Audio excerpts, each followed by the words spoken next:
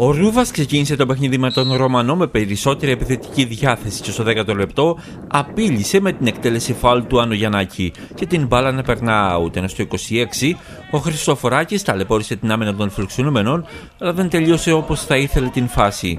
Στο 38, μετά από εκτέλεση φάουλ του Ιπποκράτη Κομνηνού, η μπάλα δεν απομακρύνθηκε αλλά στρώθηκε στον Μαρκόπουλο με τον Ιατράκη να είναι σε ετοιμότητα ενώ λίγο αργότερα, ξανά από στατική φάση, ο Μπαλάφας προσπάθησε να σκοράρει με τον Πυρουνάκη να σταματά την μπάλα πριν περάσει τη γραμμή.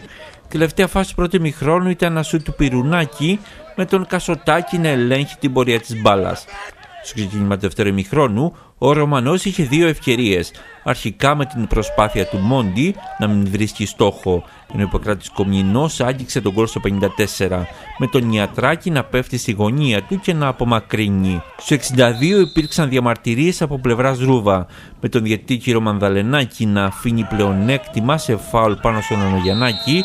Στη συνέχεια η επίθεση του Ρούβα να κόπηκε από τον Ανιφαντάκη και τελικά δόθηκε το φάουλ στην πρώτη φάση. Οι γηπεδούχοι ζήτησαν δεύτερη κίτρινη κάρτα στον Ανιφαντάκη.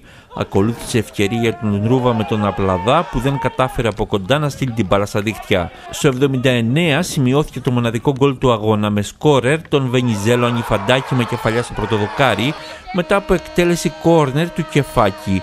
Στα λεπτά που απέμειναν ο Ρούβας πίεσε ασφικτικά για την ισοφάριση. Μάλιστα ζήτησε και ένα πέναλτι σε χέρι του Μπαλάφα. Είχε τεράστια ευκαιρία με το σου του Πυρουνάκη και τον Κασοτάκη να αποκρούει εντυπωσιακά σε κόρνερ και στις καθυστερήσεις ο Ντέτσικας πρόλαβε την έξοδο του τερματοφύλακα αλλά δεν κατάφερε να στείλει την μπάλα στα δίχτυα με το κεφάλι με το 0-1 υπέρ του Ρωμανού να είναι το τελικό σκορ στην Γέργερη.